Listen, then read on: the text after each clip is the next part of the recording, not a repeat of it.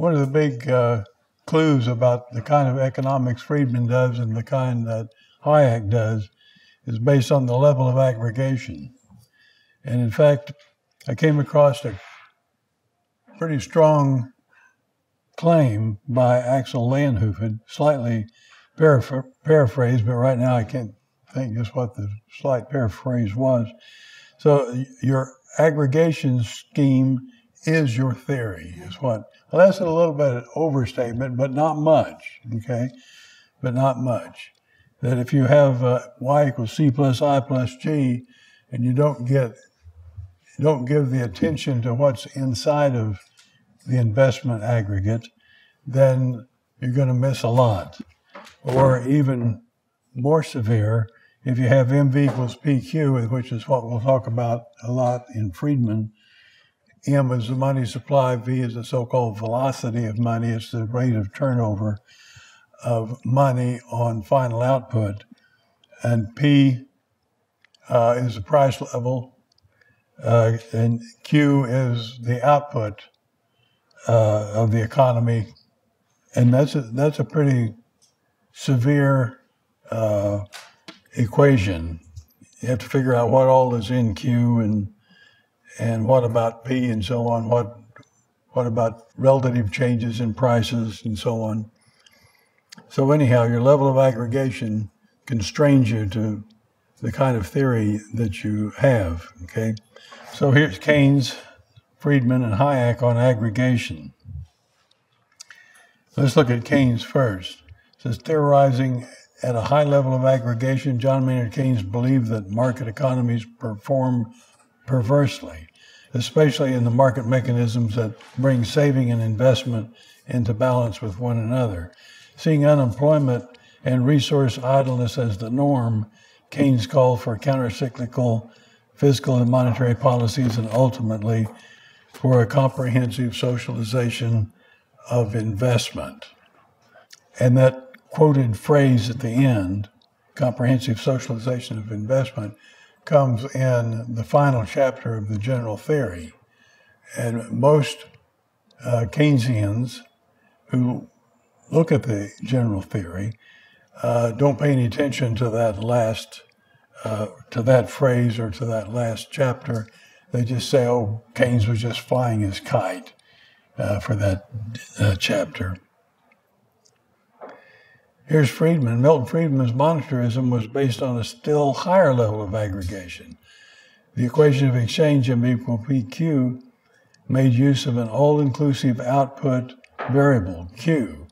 Uh, that's both consumption output and intermediate output as well. Okay? Putting into eclipse the issue of the allocation of resources between current consumption and investment for the future. Seeing no problems emerging from the market itself, Friedman focused on the relationship between government controlled money supply and the overall price level.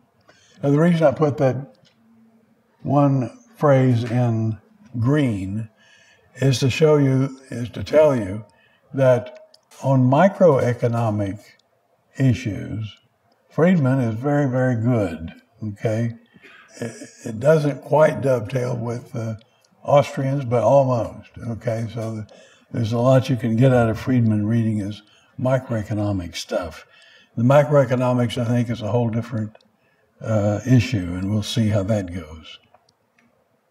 Here's Hayek. Capital based macroeconomics is distinguished by its propitious disaggregation. It does it right, makes, gets the disaggregation to a point where you can make sense out of what's going on during a business cycle uh, which brings into view both the problem and the intertemporal resource allocation and the potential for market solution.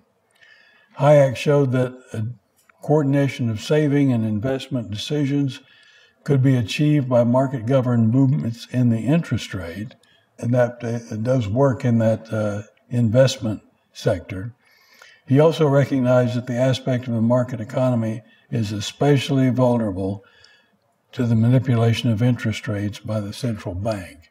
So he, he had it down pretty good in that uh, blurb. Contrasting methods. and we have two methods. One's contrasting the, the other, even though we have three economists. We'll see who, who has what here. So Keynes, Friedman, and Hayek on method. We'll start with Keynes. Keynes was the type of theorist, this comes from Allan Meltzer, who developed his theory after he had had developed a sense of relative magnitudes and of the size and frequency of changes in those magnitudes. He concentrated on those magnitudes that changed the most, often assuming that others remain fixed for the relevant period. That's the way he went at it. And I've suggested that uh, a particular tool that he uses uh, for his theorizing, and I call it a variation sieve. Uh, there's the sieve. It have to, it'll have to be changed a little bit to make it make it work like Keynes needs to. Uh, he simply pours all of the C and I and G and everything else through the sieve and see which one hangs up in the sieve and which one goes through. anything that has a lot of variation back and forth will stay in the sieve. Anything where there's not all that much variation goes through the sieve and uh, becomes no part of his theorizing. He only theorizes about what's going on that's that's uh, ca- that's captured in the sieve. And it turns out, uh, as you probably have already guessed, that one thing that goes through the sieve is the interest rate, uh, especially in in uh, booms and busts as we see them. That what we what we tend to see is a lot of the booms, and especially the one that, that uh, occurred in the 1920s, were partly, but only partly, they were partly genuine booms. Uh, there was all sorts of things going on. Uh, automobile manufacturing, uh, lots of chemicals of one sort or another making things better, uh, refrigeration, uh, electricity, and so on. There lots of things going on during the 30s uh, that caused lots of people to borrow funds in order to further these kinds of activities. Okay? Um, so that was a genuine part of the boom. But to the extent that they were borrowing and, lot, and doing a lot of borrowing, that would drive interest rates up, wouldn't it? Interest rates would go up. Of course it would. Supply and demand. More people are trying to borrow more stuff in order to take advantage of the technological breakthroughs that happened during the 1920s. All right. Now it turns out that interest rates didn't go up, or they did go up very much. And the reason they didn't is because the Federal Reserve was pumping in money to keep interest rates down. All right. Uh, now, for Keynes, or for anyone working in the U.S. and looking at this uh, situation, uh, if they were using the variation sieve, they'd let the interest rate go down the drain, go through the sieve, right? Uh, so it's sort of a bad strategy to just look what's, what's changing the most. Now, here's Friedman. What's his view? Well, he says, I believe that Keynes' theory is the right kind of theory in its simplicity, its concentration on a few key variables, and its potential fruitfulness. So he's, he's doing the same thing as Keynes. All right? And when he says potential fruitfulness, what he's thinking about is that, oh, oh, uh, all of this all of this data that we can get is just what we need with our econometric equations. okay, that's the fruitfulness. Okay, so it's it's a, a econometrics approach uh, to business cycles, and yet uh, that approach uh, is not going to work too well because what turns out to be the key thing in the interest rate and the way it's uh, juggled by the Federal Reserve is is one of the big problems or is the big problem. But it went through the sieve. Okay. The implications, as Friedman pointed out, is that big effects have big causes. Well, that's not always true. I mean, sometimes it's true. Uh, if you think of uh, if you think of volcanoes destroying cities or something like that, you had a big volcano and destroyed city. They're both pretty large. Uh, but a lot of times, a lot of times you have a, uh, something that you that you really can't quite savvy until you figure it out about what's going on with interest rates. Here's Friedman. We're all Keynesians now. We all use the. Hmm, this is yeah. This is Friedman, and he says we're all Keynesian now. We all use the Keynesian language and, and apparatus. Uh, well, no, that's not right. the Austrians don't use it. But, so he's just thinking about the Keynesians and the monetarists. Now, here's Hayek. The role of the economist, Hayek points out, this is in Pure Theory of Capital 41, is precisely to identify the features of the market process that are apt to be hidden from the untrained eye. All right? He says that in, in Pure Theory of Capital. Uh, and what he means is that is precisely about that interest rate that doesn't seem to change. Okay, so Friedman and Keynes don't pay much attention to it. And Hayek does because he knows that it should have changed. It should have gone up when lots of people were trying to borrow lots of funds uh, to take advantage of technological uh, uh, aspects of, of the. Okay, so for Hayek, then, the cause and effect relationship between the central bank policy during the boom and the beginning of the economic downturn has the first order claim on our attention, despite the more salient co movements in macroeconomic magnitudes that characterize the subsequent spiraling of the economy into deep depression.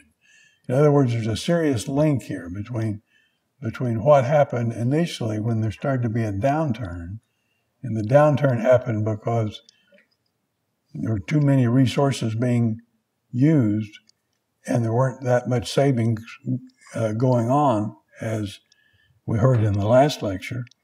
Uh, and that's what caused the economy to crash.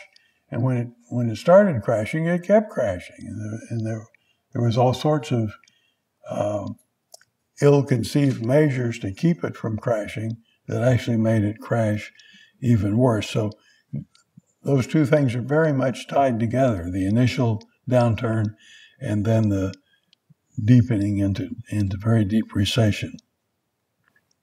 And here's what Hayek said. This is in his uh, Pretense of Knowledge lecture when he won the Nobel Prize in 1974. He says there may well exist a better scientific evidence, and he has that in scare quotes, Uh, that is empirically demonstrated regularities among key macroeconomic magnitudes. But what, what makes them key is a, a lot of ups and downs. Okay. So interest rate wasn't key because it didn't change much, which will be accepted because of the because it is more scientific against in scare quotes than for a valid explanation, which is rejected because there's no significant quantitative evidence for it. All right? That was Hayek. How methods shape substance, we'll see. Identifying the cause is what we're looking at. Keynes attributed the downturn to psychological factors affecting the investment community rather than to monetary or physical disturbances.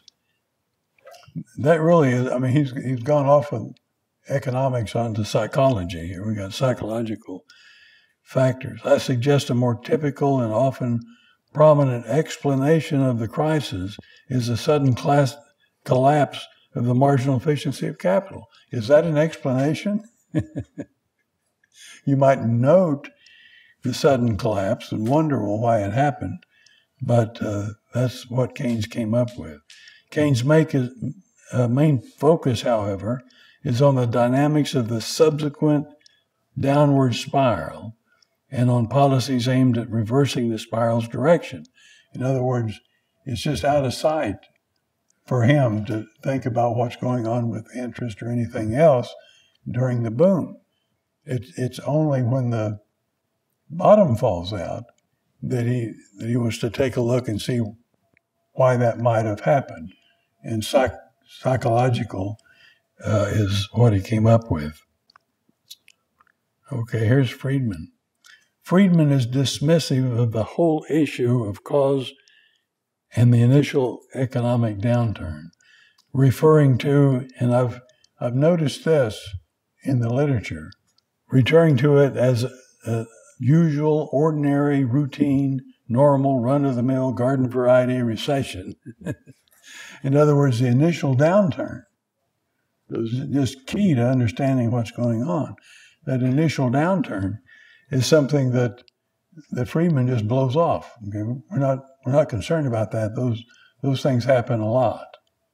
All right. What we're concerned about is why it dived into deep uh, depression. For Friedman, the correlation between the subsequent movements in the money supply and the movements in total output, output leaves no doubt as to the central issue. Period. Now, here's Hayek. Hayek focuses on the policy infected aspects of the boom, that is, artificially low interest rates. And you see, when I say artificially low, I don't really mean that it really dropped. It just it just didn't go up. Okay, it would have gone up just on the basis of technological considerations, but it wasn't allowed to go up, so it was artificially low. The post bust relocation of labor and capital takes time, but the actual dimensions of the recession, its length and depth, are to be explained largely in terms of policy perversities that hampered the recovery. Right? So Hayek certainly had that right. Okay, so for Friedman, the full analysis of the business cycle consists almost wholly of an empirical accounting of the depression's depth and length.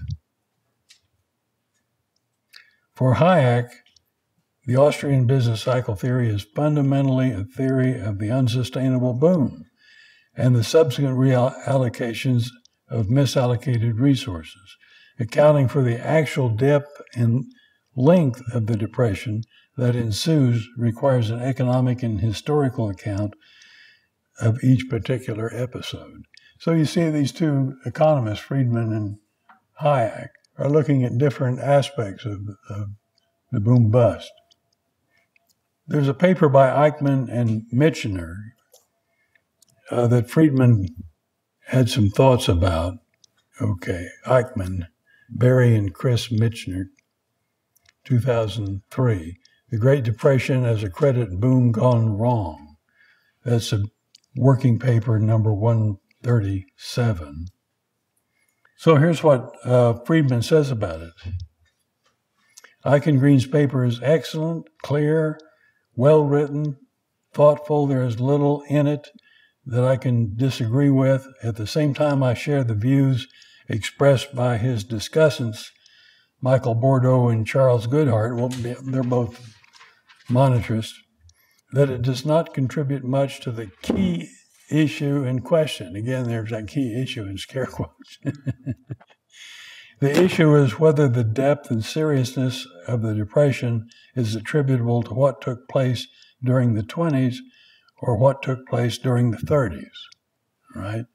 So he just wants to say that that deep depression that's all just 1930 stuff has nothing to do with what was going on in the 20s. Well, it has a lot to do with what was going on in the 20s. All right?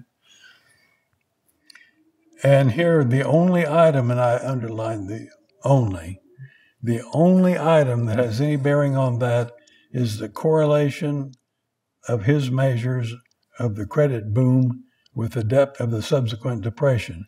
Here he gets a positive correlation of 0.43 for the height that measures the stock market boom. That's pretty low the bulk of his evidence is, is that what happened in the 30s explains the 30s, not what happened in the 20s. Okay? Uh, well, once again, it's not a matter of how far it went down and and how big a, a dive it was related to the earlier boom. In fact, he doesn't relate it to the the earlier boom. And that's the problem. Okay, just to drive the point home, uh, I subject you to this the, the, the case of the cabbage eating Mississippi monster. And we'll see how that goes. Suppose that in late October 1929, a thousand pound monster descended on Mississippi soil. It spent the next three and a half years eating all the cabbages and quite a few rabbits between Tupelo and Pascagoula. By early March of 1933, the monster weighed 4,000 pounds. Wow. Two investigators are sent to Mississippi to get a handle on the situation. One's from Vienna and one's from Chicago. There they are. And I actually I googled Mississippi monster, and that's that's what I got. So I guess it'll work. Uh, the Viennese investigator asks, "Where in the world did this hideous thing come from?" It turns out, on further investigation, that the monster was the unintended consequence of some ill-conceived government-sponsored bioning project. Seemed like he nailed it there. The Chicago Chicagoan shows up, shoves the Austrian aside, and says, Never mind how this thing got there. The key question is, how did it grow from 1,000 pounds to 4,000 pounds? How did an ordinary, usual, routine, run of the mill garden variety monster quadruple weight in 42 months? Okay. The Chicago's answer, of course, is it was all those cabbages. He couldn't get good data on the rabbits. The strong correlation between cabbage consumption and weight gain the Mississippi monster leaves no doubt as to the central issue. Right? now, that pretty much overlays what I've said before just with, with the business cycle. That's the whole point. So, do we expect that uh, data availability is what led the Chicagoan to his conclusion, and that the lack of hard data pertaining to the monster's origin caused him to be dismissive of questions about where the thing had come from, of course. These and related suspicions are what underlie the message of Hayek's Nobel address on the pretense of knowledge. Now, something about this. I spent time in Menlo Park when the Institute for Humane Studies was there. In fact, it was uh, the same time that Hayek spent it uh, at that same institution, which was very helpful to me. I was working on my dissertation at the time, and it was nice to have Hayek next door, you know. uh, but I had heard from a number of people that uh, Friedman, who, who, I knew drove a Cadillac, I'd heard that, uh, had that as his license plate, MV equal PQ. Uh, and so the Institute of Humane Studies was walking distance to Stanford. You could sort of cut through a little bit and be on campus in no time. And so I took my camera over there. This is about one of the last days I, that I was at the Institute. I'm walking around parking lots to see if I could find uh, his car. Okay, so I knew I was looking for a Cadillac and I knew what license plate I, I had to have. Well, it was a hot day, and I just plain old couldn't find it. But I did find this Cadillac. Uh, it's a late 1970s model, and it has California tags. And so I took a picture and then did a job on that uh, license plate because I, I wanted I wanted to show it to my students. And I showed showed it to the students at Auburn. And eventually I fessed up and said, well, wasn't really his, but that's, you know, that's, that's the story. And it is, and it is the story. Uh, but then later, see what we got here. Well, okay, we're, we're going to go with this, and I'll come back a little later about the about the car. I think I'll have time. So, with a near constant velocity of money and output Q growing slowly, movements in the price level P largely reflect movements of the money supply M. Well, yeah, that's I mean, that's Friedman right there. So, if you have just a little bit of uptick on Q, V has a bar over it, means it's not changing, and the money supply though is, then that's going to give rise, of course, to an increase in prices, almost as big as the increase in money supply. But for the increase in Q, it would have been exactly uh, the amount. And of course, Friedman claimed that it was money that caused prices to go up. A lot of people on Capitol Hill uh, were claiming that it was prices that caused money to go up. you know, prices are going up, and so the Fed has to increase the money supply so they can pay the high prices. no, we'll give it to Friedman. He's got the right direction. Uh, with a lag of 18 to 30 months, you wonder why it would be that long. Uh, and the answer of how it would be that long has to do with the structure of production and all the stuff going on in Friedman in uh, uh, with Hayek, but but Friedman just reports well it's 18 to 30 months, and sometimes he reports even a larger span. Inflation is always and everywhere a monetary phenomenon, he says. So Friedman's monetary rule increase the money supply at a slow and steady rate to achieve long run price level constancy. And so if that Q goes up, then M should go up too. That's his, that's what he thinks should happen. Okay? And that would keep price level constant. Well, it would, but what happens within the Q aggregate as a result of the monetary injection? So he's that Q aggregate is just plain old Q. What's going on within the Q?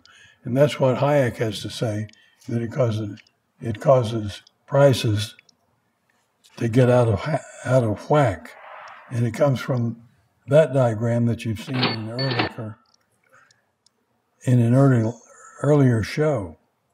Okay, so it shows that even even keeping the price level constant, uh, it still uh, disturbs the equilibrium of the market. Friedman declares the 1920s as the golden year of the Federal Reserve. He ignores the interest rate during the 1920s because it didn't change much. That is, they fell through the Keynesian Friedmanians variation sieve. But what if they should have changed but weren't allowed to? During the 1920s, breakthrough in technology increased the demand for loanable funds and put upward pressure on interest rates. But the Federal Reserve, guided by the real bills doctrine, met each increase in the demand for credit with an increase in the supply, thus keeping the interest rate from rising.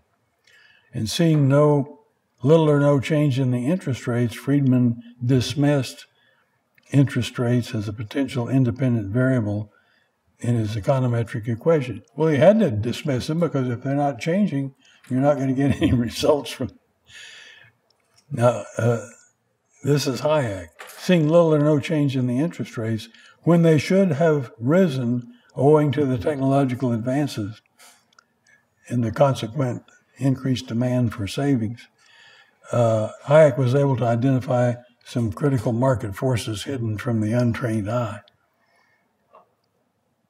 Query Which view, Heidman's, uh, Friedman's or Hayek's, is more firmly anchored in the empirical historical circumstances of the 1920s? I think Hayek's is. Now, we talk about this plucking model. Let me ask the show of hands: Has anyone ever heard about the plucking model that Friedman? Have? No, no one has heard for it. I'm not surprised at that. Uh, Milton Friedman, the plucking model of business fluctuations. It was an economic inquiry in 1993. Uh, however, it came from an article that he wrote back in 1964 when he was at the Bureau of economic research in Washington. All right. And it turns out, just by happenstance, that before this plucking model here came out, uh, I had found that stuff in the 1964 uh, rendition, the plucking model. And I wanted to write a comment uh, criticizing it. But you never get that published. If, you, if, I, if I'm trying to write a comment somewhere around 1990 about something that Friedman wrote uh, in 1964, not going to be published, we're sorry, okay?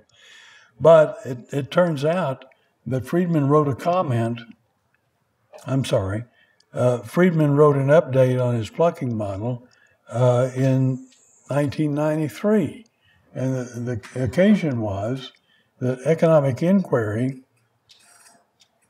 uh, that journal, uh, had a birthday party for Friedman, his 80th birthday. He was born in 12, 1912, and it was 1992 that they had the party. And they wanted him to write something for Economic Inquiry. And he didn't know what to write. At that point, he, he was through with monetary theory. He'd done lots of other things. Uh, and so he went back to this 1964 piece and revived it and put it in economic inquiry. Uh, at which time I was jumping up and clicking my heels because now I because now I could write a comment, and I did write the comment and sent it to uh, economic inquiry. I actually also sent it directly to Friedman, uh, and it did eventually get published. But let me show you what it was all about, and and this is really uh, peculiar. Well, you see how it goes.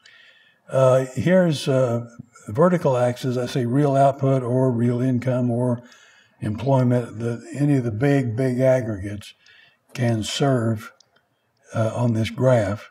On the horizontal axis, it's just time, and it's showing that the economy grows. There's the economy. It's, it's growing. It's tipped upward. Okay, fine. But it turns out that uh, it, it, doesn't grow in that smooth a way, that there are problems along the way.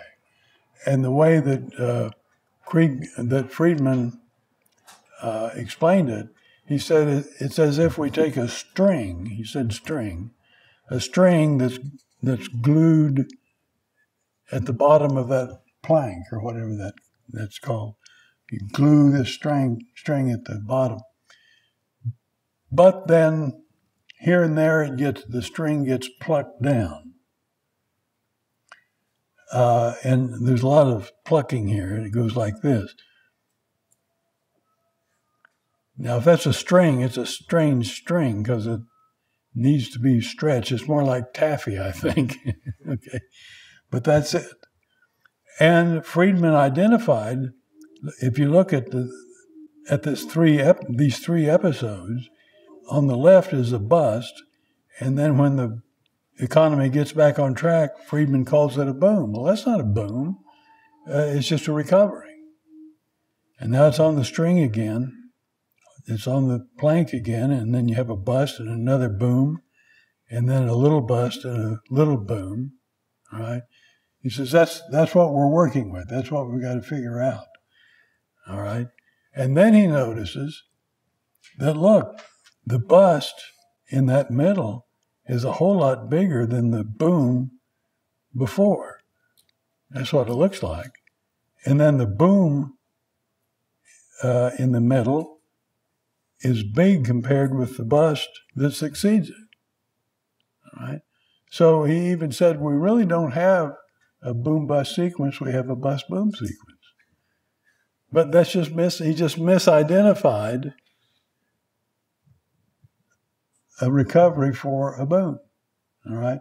But this explains why he is so adamant about saying that the downturn doesn't have anything to do with the previous upturn because the previous upturn is is not a boom really it's a it's a recovery all right?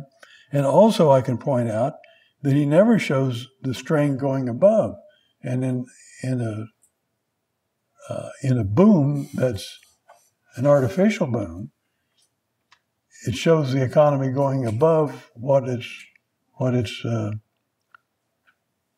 upward movement would suggest. Right? It's getting overconfident, over investing, which which eventually gives you the buzz. So that's the story here. There's Friedman. I like that picture. Uh, okay, so here he says the empirical evidence supposedly shows that we simply do not have boom bust sequences to mm-hmm. theorize about. We have bust boom sequences. Friedman takes this empirical study, initially published in the annual report of the National Bureau of Economic Research, is being utterly inconsistent with the von Mises theory. And he goes on so far as to claim that this one little bit of evidence is decisive refutation of von Mises. Really? I mean, even my when I went back to 64, I was thinking before I actually heard the, the, the new version, I was thinking, oh, he can't really have believed that. He probably even forgot he said that. But no, he brought it out, put it in the economic inquiry. Okay. Have the von Misesians in any way stopped saying exactly what they were saying for 50 years? Not a word of it. They keep on repeating the same nonsense. That's Friedman, right? Oh, okay. I guess this this goes back to my my Cadillac here. Uh, Greg Mankiw's blog. He was on uh, television, and he asked he asked this question. It came out of the blue. How can you identify my car? Well, we we want to look for something pretty special. Well, it's EC10. You know, it's not very imaginative, but there it is. And then there were some comments. You know, I hate to spoil things, but I must say I think Milton Friedman had a better plate. Uh, this is from an article I came across. He says, Years ago, trying to find the Friedman's apartment in San Francisco, I knew I was the right, in the right location when I spotted a car with a license plate that read MV equal PT. MV equal PT is Irving Fisher's version, and T stands for transactions. All right. Uh, Friedman couldn't work with that because you can't get data on total transactions. It's a whole lot bigger than uh, income. So it can't be that. And then someone else writes that Milton Friedman's license plate was MV equal PQ, not MV equal PT. Well, there's several different ways you could say it. Uh, but this this helped me. I was happy to see it was PQ uh, because I, I had sort of guess at just what the thing was. And let's see, Anonymous writes, This is pretty ridiculous. Okay. Somebody else writes, I love economists. Okay. Now, it turns out I think I can get to the internet and there, there's a there's there's France. Okay. And if you stroll and here it is, La Voiture de Milton Friedman. Okay. I don't get to see that. Oh, I had it on my website too long. so I'm still wondering. Now here's Friedman, MV equal PY. And Y is income. But that version is actually wrong. Uh, it should be MV equal Y because Y here is, is a real variable. But this is the best he could do. And so this is what he got from the Department of Motor Vehicles. And, uh, and what he needed, if, if you want to say MV equal PY, you have to have a, a little y, a lowercase y. That's what Friedman and all the rest did, a lowercase y. And so here I could say, you know, I've, I've heard recently that the only person that has that has uh, had an argument with Friedman and, and won. Can you guess who? It was Rose Friedman, actually. but now we've got a second one. It's the girl that was working uh, in the motor vehicle department. I'm sorry, Dr. Friedman. we don't have a lowercase y, it has to be. So that's the story. Okay, thank you much.